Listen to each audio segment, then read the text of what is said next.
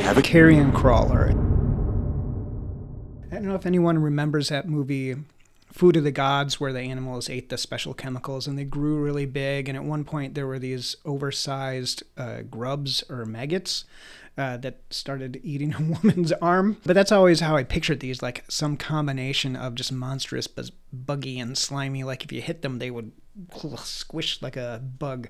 Um, so I've been looking forward to this one. So there are a handful of carrion crawlers. There aren't a ton. I would say five or six. So here's one from Cursed Forge Miniatures. Now this is not one that I would uh, naturally gravitate to, but I just wanted to point it out.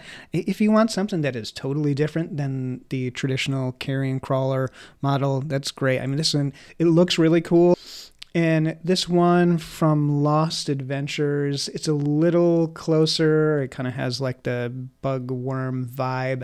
But in my head, the carrion crawler always had the big bulbous eyes. Again, like a, I don't know, a caterpillar or something that you could squish. Do caterpillars have eyes? So this is a little more like what I was thinking. This one from Printed Encounter, which is maybe a little short on the details.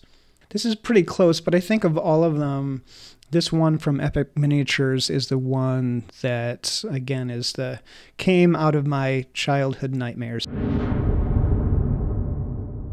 Okay, so here is the carrion crawler. It kind of looks like I remembered it in my head from uh, seventh grade. Uh, it has, it looks like it could be both squishy and tough, and so I like that. Like you can see it kind of squishing down the tunnel at you. Uh, there are a few layer lines just by virtue of how I print. Like I think it would be smoother if I turned uh, anti-aliasing back on. But overall, I really like the way that this looks. You can see the total length is probably going to be about 18 to 20, 24 feet. And raised up, you know, its mouth is at the perfect height for people's heads. So I really like that too. We printed it alongside some others, and so we're still sitting at two days and 15 minutes. So if you need some kind of grub centipede thing to chase your characters through a tunnel, this carrion crawler from Epic Miniatures is great. Next up, centaurs.